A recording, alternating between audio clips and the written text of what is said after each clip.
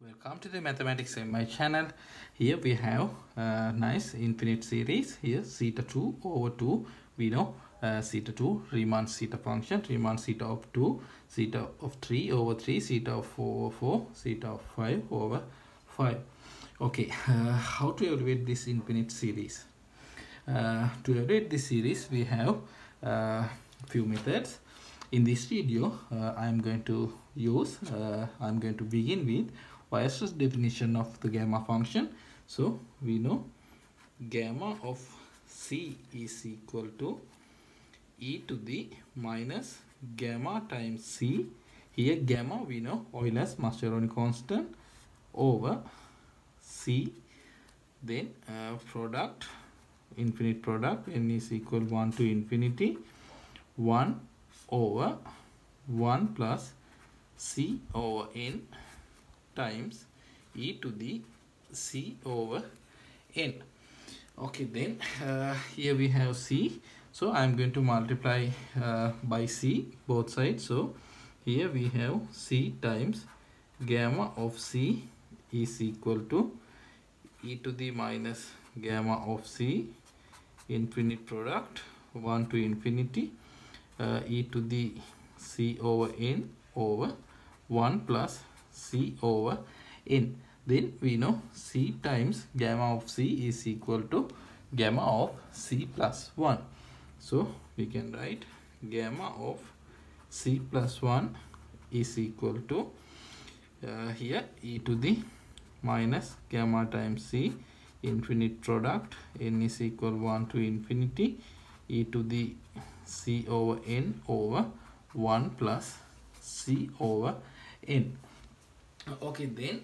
Um, i'm going to take uh, natural log both side. So we have here natural log of natural log of gamma of c plus 1 is equal to now here uh, we know natural log of e to the uh, power. So we can write minus gamma times c according to property of natural log then natural log of e we know 1 so we have only minus gamma times c uh, then here we have product so plus. Then we know uh, if we take natural log uh, product will be convert to uh, sum. So we can write this infinite product as a infinite sum. So n is equal 1 to infinity. Uh, now here uh, natural log of e to e times uh, e to the c over n. So we can write c over n times natural log of e we know 1 uh, then here uh, division. So minus natural log of natural log of 1 plus c over n. Natural log of 1 plus c over n. Okay then uh, i'm going to uh, divide by c. This equation i'm going to divide by c. So here we have natural log of gamma of c plus 1 over c is equal to here minus gamma Euler's Mascheroni constant plus here n is equal 1 to infinity. Uh, now we know c get cancelled so 1 over n minus then here 1 over c natural log of 1 plus c over n. Okay then um, what can we do? Okay uh, as a next step uh, i'm going to write here natural log of gamma of uh, c plus 1 over c.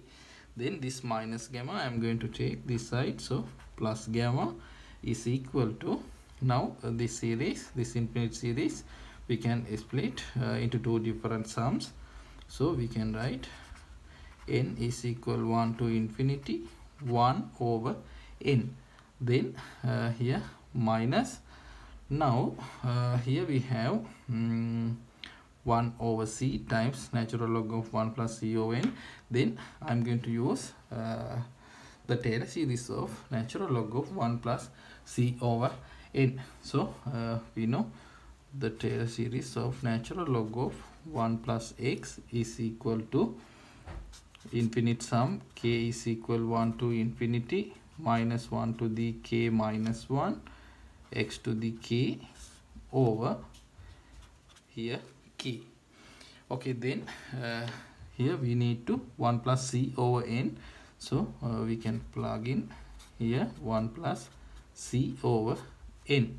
So we have uh, here k is equal 1 to infinity minus 1 to the k minus 1 here c to the k power over k uh, now here. Sorry here c to the k over k it's okay. But here we have 1 over n so n to the k. So n raised to the k times k.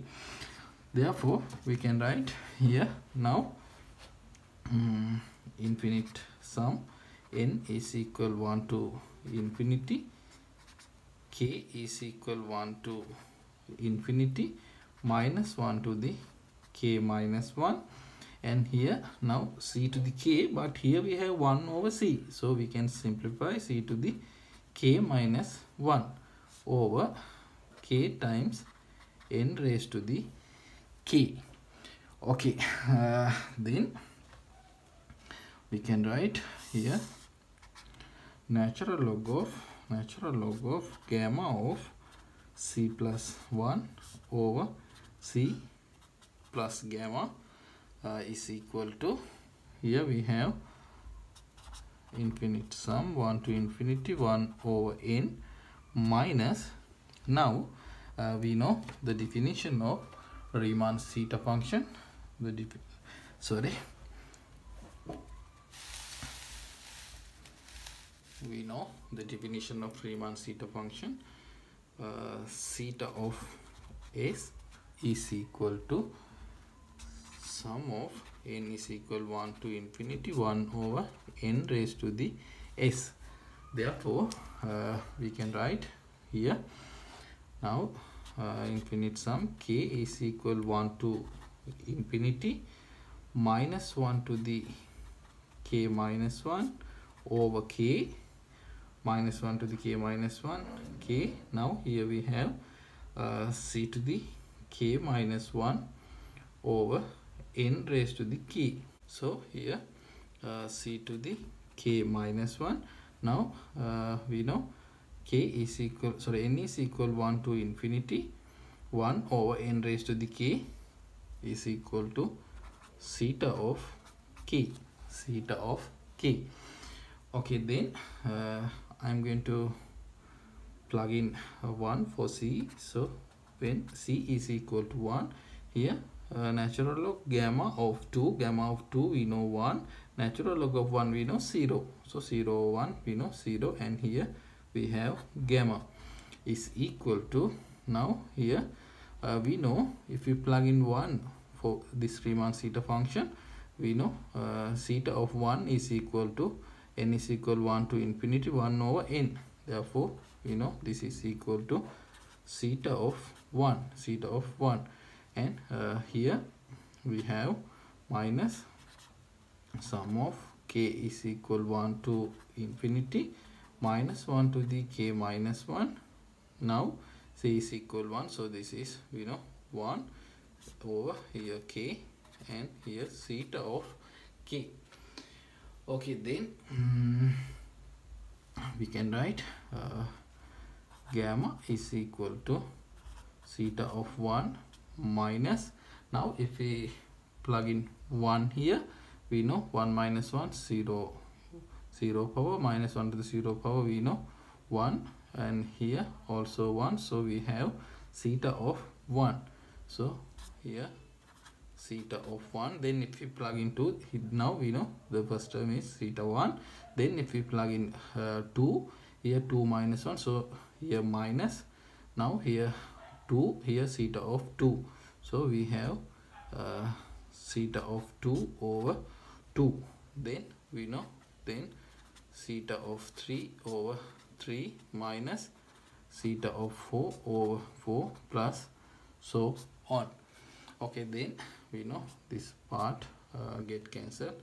And Euler's Mascheroni constant is equal to minus minus plus so zeta 2 of 2 minus zeta 3 of 3 plus uh, zeta 4 over 4 minus zeta 5 over 5 plus so on. Okay now we know this uh, infinite series represent uh, beautiful constant Euler's Mascheroni constant